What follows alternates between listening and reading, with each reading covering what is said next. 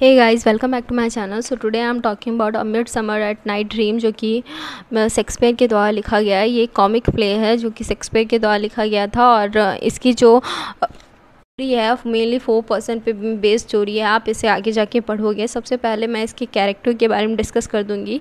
पर जैसा कि मैंने बताया कि इसकी जो शेक्सपियर की बायोग्राफी है, मैंने concept and features of Shakespeare में मैंने डिस्कस की हुई, उसके पिक्चर्स भी मैंने डाले हुए हैं तो आपको वहाँ पे टेंशन नहीं होगी। सो गाइस मैं सबसे पहले इसके कैरेक्टर को बता देती हूँ। सबसे पहला जो कैरेक्टर है असेंडर सेकंड जो है सेकंड जो है ड्रामेटियस थर्ड जो है हरमिया फोर्थ जो है हेलन और कैरेक्टर है और रॉबिन गुड फेलो जो कि पक भी नाम से बहुत फ़ेमस है। आपको पूछा भी जा सकता है कि आप पक के कैरेक्टर के बारे में बताओ। कैरेक्टर है Nick Bottom seventh character Oberon जो कि किंग है. उसके बाद टाइटेनिया जो कि वहाँ की फेरीज़ है. हैं थीसिस थीसिस जो है ड्यूक ऑफ़ एंथिस होते हैं. वो शादी करने वाले हैं हुपोटोलिया से.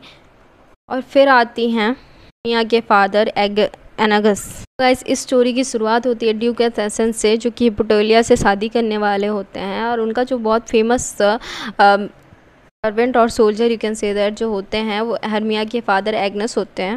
और एग्नस जो है थीसिस से अपने सारे प्रॉब्लम शेयर करते हैं कि किस तरीके से हरमिया जो है सेंडर को लाइक करती है, पर उनका जो, उनके जो फादर हैं, वो ड्रेमिटी से उससे शादी करवाना चाहते हैं, वो चाहते ही नहीं हैं कि उसकी बेटी की शादी जो है लाइसेंडर से हो बट हरमिया जो है वो तो लाइसेंडर को लाइक करती हैं तो वो चाहती ही नहीं थी कि उससे शादी करे बट देन ड्यूक ऑफ़ एंथेनियस जो थीसस होते हैं, वो कहते हैं कि या तो तुम या तो तुम शादी कर लो, जिससे तुम्हारे फादर कह रहे हैं अकॉर्डिंग टू उनके हिसाब से, नहीं तो तुम पूरी ज़िंदगी एक नन बन कर रहो लाइक एक भक्ति के रूप में अपनी ज़िंदगी को सवार दो।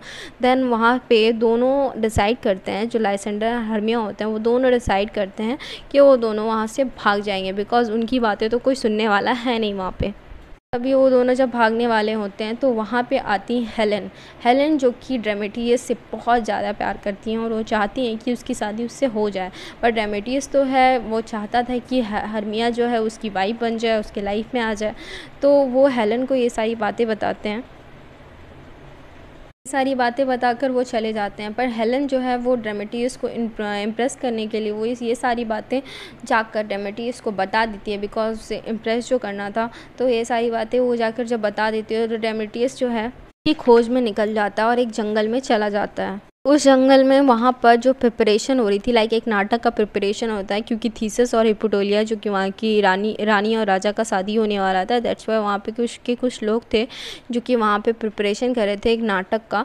तो वहाँ पे वो सारे लोग जो हैं सारी चीज़ें देख रहे होते हैं, तब भी ऐसा होता है कि ऑपरेन और टाइटेनिया जो होते हैं, ये होता है, किंग होते हैं एंड फेरीज होते हैं, ठीक है? तो ये दोनों का बहुत ज़्यादा झगड़ा होता है तो ऑपरेन जो है वो अपनी वाइफ को सबक सिखाने के लिए रॉबिन गुड फेलो के पास जाता है यू कैन से दैट पक के पास जाता है, और वो कहता है कि तुम मुझे कुछ ऐसा ड्रॉप दो, ताकि वो मुझसे लव करने लगे। और फिर ये ये भी चाहता है कि ये जो ऑल द फोर कैरेक्टर का लव स्टोरी है, वो भी सॉल्व हो सके।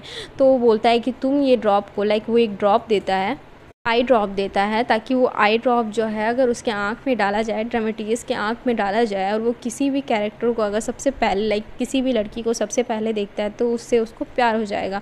बट वो जो है, गलती से लाइसेंडर की आँखों में डाल देता है और वो जैसे ही उठता है तो वो देखता है कि सबसे पहले वो हेलन को देखता है और उसे हेलन से प्यार हो जाता है। अब जो है लाइसेंडर और ड्रामेटियस जो है पर मिलते हैं।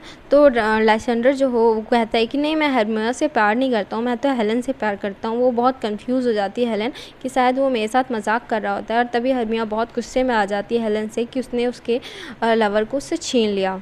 अभी एक्सीडेंटली ऑर्विन जो है, वो बॉटम से पूछता है कि, पक से पूछता है कि तुमने तो कुछ किया ही नहीं, तब तब जाके वो क्या करता है कि फिर से वो ड्रॉप हेलन डेमेटिस के आँख में डाल देता है और किसी के, किसी तरह ऑबरेन को बोलता है कि तुम हेलन को उसके सामने लेके आओ और वो सारी प्रॉब्लम सॉल्व हो जाएगी।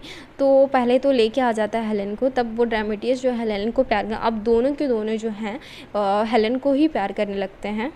आफ्टर एट ओबरन जो है पक को कहता है कि तुम एनी हाउ इस प्रॉब्लम को सॉल्व करो। तो वो एक रात क्या करता है कि उस मैजिक का इफ़ेक्ट ख़त्म करने के लिए लाइसेंडर के आँख में फिर से एक ड्रॉप डालता है ताकि उस मैजिक का इफ़ेक्ट पूरी तरीके से ख़त्म हो जाए उसके अंदर से और वो पहले की तरह हरमिया को लाइक करने लगे।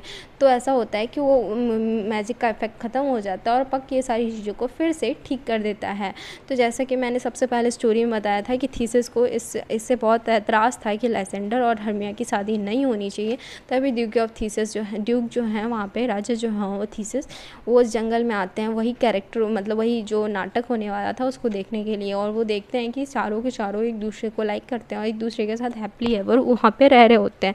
तो वो फिर एंगस से बोलते हैं कि क्यों नहीं तुम अपने अपने बेटी की बात को मान लेते हो और वो दोनों की शादी करा देते हो देन वो तो था अपने राजा का बहुत आज्ञाकारी और अपनी राजा के बात को मान लेता है और आफ्टर एट वो राज़ी हो जाता है। सो गाइस ये जो स्टोरी थी, वो full full on love story थी के बेस पे स्टोरी है। सो आप जैसा कि देख सकते हो end of the end of the story चारों के चारों कैरेक्टर जो हैं, एक दूसरे से मिल जाते हैं।